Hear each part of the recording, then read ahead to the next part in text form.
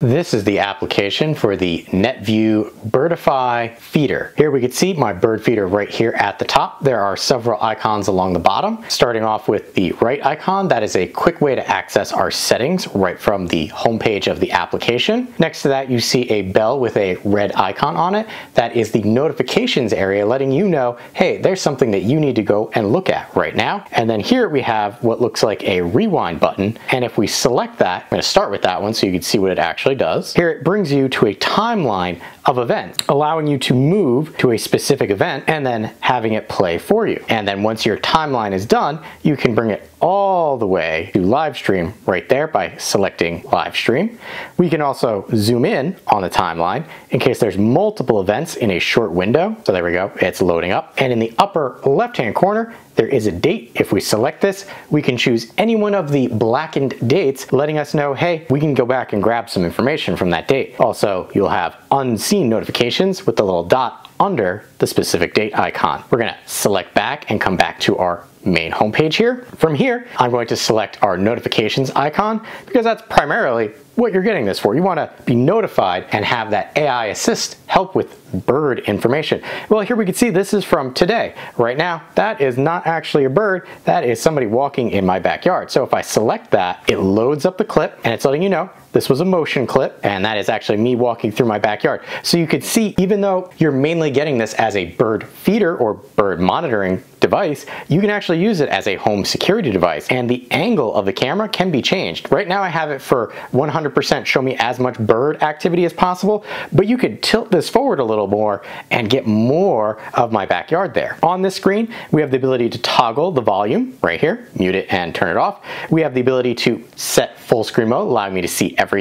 I can download this clip right there by pressing that, and I can also share this clip right there, and it'll bring up any apps that'll allow you to share. I'm gonna select back, and we're going to find one that actually is an AI event. So here we go. These are just motion triggers. Here's an AI trigger. Selecting that, we'll open it up, and hey, there's a bird. You'll notice that it is rather short because the bird kind of ducks out of view. But if we notice right here, there's a new button. It says show AI Pick. So if I do that, it will identify this bird. So it's saying this is a house finch. There's several different options. Well, here we can see it changes from being a house finch to a house sparrow to a pine siskin. I'm saying that horribly wrong. And that's all based on the AI. So it's not going to be 100%. However, if we come back to the house finch and I select it, it's going to give you Wikipedia information about that house finch. Maybe this house sparrow. Again, Wikipedia information about that. And then our last bird that it thinks it is, Wikipedia. So you can actually use this as a way of proofing the information that you're getting from the AI. So we're gonna come down to another AI event.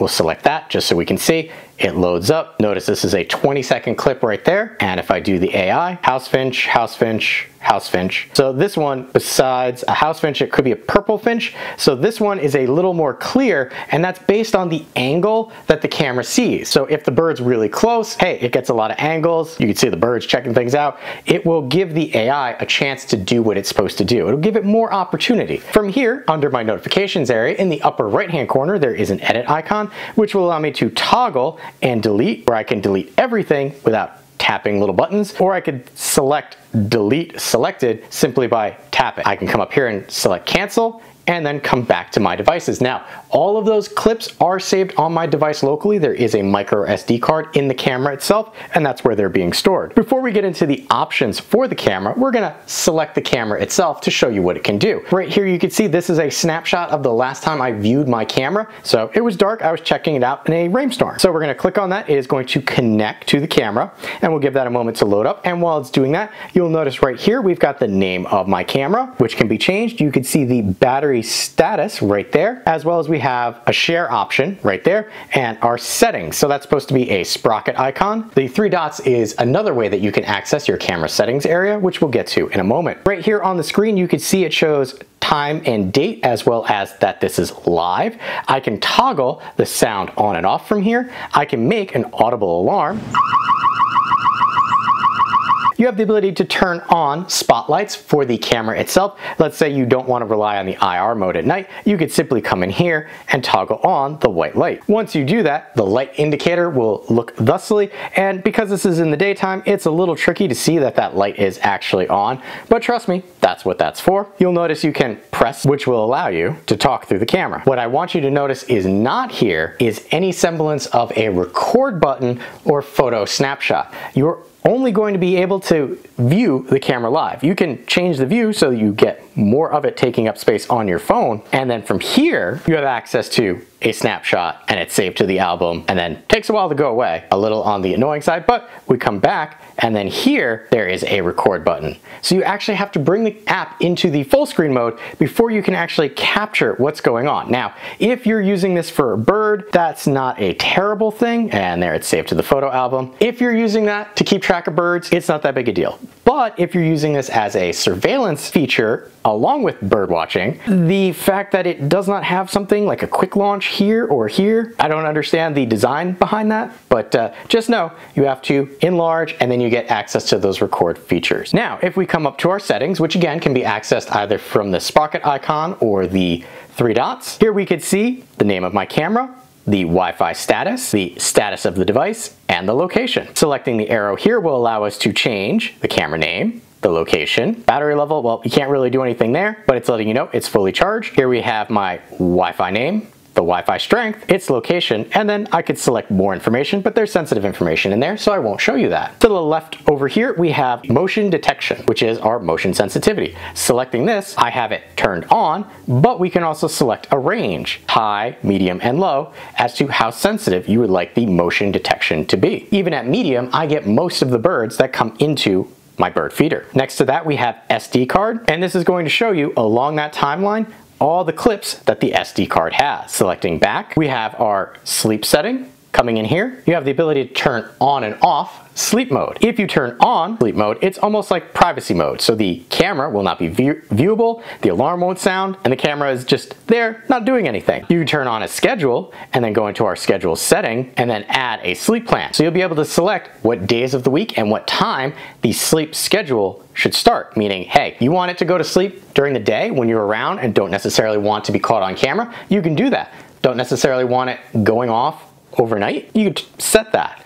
And I enjoy the flexibility that this camera offers because it is both a bird watching and security device. I'm gonna stress that a lot during this, that it does multiple things. Coming down, we have our firmware info. Selecting that will just let you know, hey, is the firmware of my camera up to date. In my case it is, so I don't have to do anything. Here we have my SD card management. I have a 32 gig card in there, and you can see three gigs of the 29 usable gigs. If I want, here's a visualization. I can format the card from here, which will erase all the data on it. Would not recommend doing that unless you are first initializing your card in this camera. Coming down, we have our light settings. Selecting this, well, we want the indicator light on the camera. I have that turned off because I just don't want to spook my birds. Here we have our flashlight alarm. This will have the lights on the camera flash when motion is detected. Good for home monitoring and surveillance, not so much with the bird, so I have that off. Here we have our night vision mode. So we have night vision on or off, and then how do we want that? In my case, I currently have the infrared, so using IR lights to see. I can select the white light mode, meaning it will turn on the LEDs when it detects motion. And we have our light sensitivity, high, medium, and low. So you've got a choice of, do you want to see things in black and white with the IR, or do you want to have color. The one problem that I found with the color night vision using the LEDs, because the basket where the food is, is white, that can wash out the camera's view in the distance depending on how you have the camera angled. Just a FYI. Moving on, we have audio settings, audible alarm. After an alarm siren is turned on, the camera will automatically sound an alert when the motion sensor is triggered. So if there's something that walks in front of this, it will automatically sound the alarm. And then we have camera voice language, plenty to choose from, and then voice volume, low to high. Coming down, we have more. Well, here are more settings. We have Netvue Protect, turning that on. Well, you could see that by purchasing this camera, you get an extended warranty, and I have an extended warranty until 2073, which, as morbid as it sounds, will outlive me. Here we have motion alerts. Do I want to get alerted when there's motion? I do. Motion alert filter coming in here. Well, you'll notice I do not have any option to choose some of these other ones because some things require a subscription. There are a lot of things that this camera can do without a subscription, but once you get into alerts for specific AI events, including bird identification, you're not going to be able to do that. Right now, I have all notifications and then I go back and look through my video clips and use the AI detection there to figure out what the bird is. Here we have our cooldown timer, constant, send, send, send, send, or one hour in between trigger, and then pin this device to the top. So on the Netvue page, because the bird feeder is only a small portion of what Netvue offers, if I wanted the bird feeder to always be on top, this is where I would come to do that, and I would turn that option on. Coming down, we have advanced setting. Anti-flicker, selecting that. Some countries operate on different hertz frequencies for LEDs. By enabling anti-flicker and selecting your hertz range for your region, it will prevent the camera from flickering and make it easier to see. Just know that's what that's for. Installation settings, well, here it's showing me a live view. I can rotate the image, and there we see the image is upside down. I can rotate it back, and then we have our installation guide, and it's gonna walk you through all the steps for installation. I will admit there are a lot of options for installation that Netvue gives you with this particular bird feeder camera. And we're not gonna let that load up. We're gonna select back and back and come back to our area here. Down at the bottom, we have the ability for sharing. That's my admin info and then camera share. Selecting that will show a QR code that you can share with somebody else. Keep in mind, they will need their own Netvue account in order to share your device. And all the way down here at the bottom is remove camera. And we are going to come back to our front page here because that's everything that we can do with the camera. Now let's quickly go over some of the options of the main Netvue app. Upper right hand corner, plus sign, that's how you would add a device to your account. Right here, we're on our home page. If I select the search icon, well, this will let me search for stuff from Netvue. Here we can see discovery, or I can come over here, caught on Netvue. So this is cool. You'd be able to go through and see some cool things that other people have gotten. You can also choose to upload yours to be featured on this page. The cloud icon, well, this is your plans or offerings from Netvue. And in my case, I have one subscription, which is the Birdfy recognition system for life. And that is just with the AI when you're looking at clips. That is not the push notification. From here, you can see previous plans and expired plans. So if you're wondering where those are, that's where it is. Here we have the plans. Netvue Connect continuous recording, event recording, AI skills. Essential detection